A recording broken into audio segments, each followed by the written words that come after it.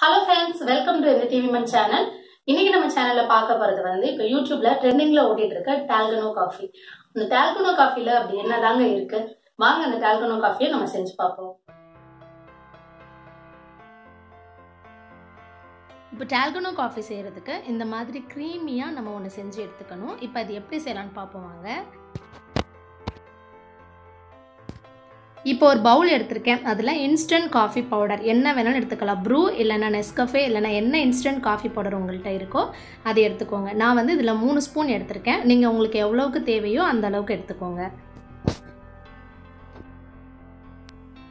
இப்போ நீங்கள் coffee powder எவ்வளோ ஸ்பூன் எடுத்துக்கிறீங்களோ அதே அளவுக்கு சர்க்கரை சேர்த்துக்கணும். நான் வந்து மூணு ஸ்பூன் எடுத்திருந்தேன். அப்போ மூணு ஸ்பூன் அளவுக்கு சர்க்கரை சேர்த்துக்கிறேன். இப்போ கொஞ்சம் தண்ணி சூடு பண்ணி வச்சுருக்கேன். அதில் மூணு டேபிள் ஸ்பூன் அளவுக்கு தண்ணி சேர்த்துக்கிறேன். நீங்கள் எவ்வளோ காஃபி பவுடர் எடுத்திருக்கீங்களோ அதே அளவு தண்ணியும் சேர்த்துக்கணும். காஃபி பவுடர் சர்க்கரை தண்ணி மூணுமே ஈக்குவல் குவான்டிட்டியில் இருக்கணும். இப்போ இந்த மாதிரி ஒரு விஸ்க் இருந்தால் எடுத்துக்கோங்க. அப்படி இல்லைன்னா ஸ்பூன் ஃபோக் எது இருந்தாலும் எடுத்துக்கோங்க. இல்லை அதுக்கு முன்னாடியே உங்ககிட்ட எலக்ட்ரிக் பிளெண்டர் இருந்துச்சுன்னா அது கூட யூஸ் பண்ணிக்கலாம். இப்போ அந்த விஸ்க் வச்சு நான் நல்லா எல்லாம் மிக்ஸ் பண்ணி விட்டுக்கிறேன். இந்த சர்க்கரை எல்லாம் நல்லா கரையணும். கைவிடாமல் நீங்கள் இந்த மாதிரி அடிச்சுட்டே இருக்கணும்.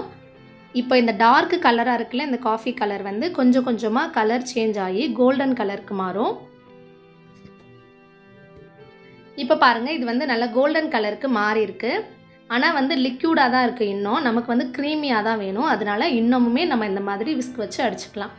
கிட்டத்தட்ட நான் ட்ரை பண்ணும்போது பத்துலேருந்து பன்னெண்டு நிமிஷம் கிட்ட ஆச்சு எனக்கு அந்த க்ரீமி கன்சிஸ்டன்சி வர்றதுக்கு. நீங்கள் கைவிடாமல் பண்ணிகிட்டே இருங்க. நான் கைவிடாமல் தொடர்ந்து பண்ணிக்கிட்டே இருக்கேன். இப்போ பாருங்கள் ஃபஸ்ட்டு வந்து டார்க் கோல்டன் கலரில் இருந்துச்சு. இப்போ கொஞ்சம் லைட் கலருக்கு மாறி இருக்கு அதே மாதிரி லிக்யூடாக இல்லாமல் இப்போ கொஞ்சம் கெட்டியாக மாறி இருக்கு நமக்கு வந்து இந்த கன்சிஸ்டன்சி தான் வேணும். இந்த மாதிரி க்ரீமியாக இருக்க மாதிரி தான் வேணும் நமக்கு.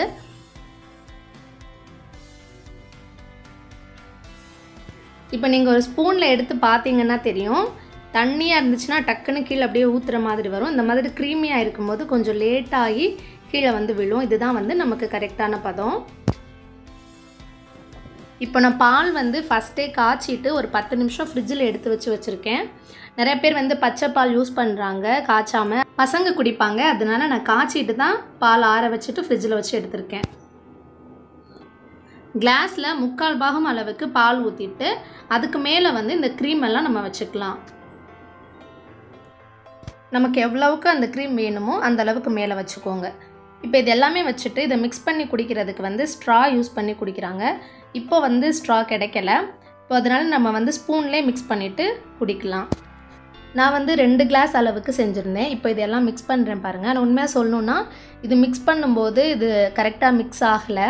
ஏன்னா அந்த க்ரீமி வந்து தனியாக தான் இருந்துச்சு. அதோட ஒன்றும் சேரலை. நம்ம ஸ்ட்ராவில் குடித்தோன்னா நமக்கு ஒரு வேளை கரெக்டாக அதெல்லாம் மிக்ஸ் ஆகி வரும்னு நினைக்கிறேன். இந்த மாதிரி தான் இருந்துச்சு மிக்ஸ் பண்ணும்போது. குடிச்சு பார்க்கும்போது நல்லா தான் இருந்தது. ஒரு கோல்டு காஃபி குடிக்கிறதுக்கான ஃபீல் வந்து இருந்தது. ட்ரை பண்ணலாம். ஒரு தடவை நம்ம முயற்சி பண்ணி செஞ்சு குடிச்சு பார்க்கலாம் அவ்வளோதான் மற்றபடி நம்ம சுட சுட நம்ம காலைல சாயந்தரம்லாம் டீ காஃபி எவ்வளோ இன்ட்ரெஸ்ட்டாக குடிப்போமோ அந்த அளவுக்கு இன்ட்ரெஸ்ட் வந்து இந்த கோல்டு காஃபியாக இருக்கட்டும் டால்கோட்டோ காஃபியாக இருக்கட்டும் அதிலலாம் வராது. எப்படியோ ஒரு தடவை ட்ரை பண்ணி பார்க்கலாம் அவ்வளோதான் மற்றபடி நம்ம சூடாக போட்டு குடிக்கிற அந்த காஃபிக்கு முன்னாடி இந்த காஃபியெல்லாம் கொஞ்சம் டவுன் தான். என்னை பொறுத்த வரைக்குமே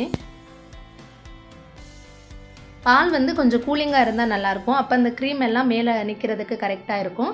சில பேர் வந்து ஐஸ் க்யூப்ஸ் கூட சேர்த்துக்கிறாங்க. நம்ம அதுக்கு பதிலாக தான் வந்து ஃப்ரிட்ஜில் வச்சு எடுத்தோம்.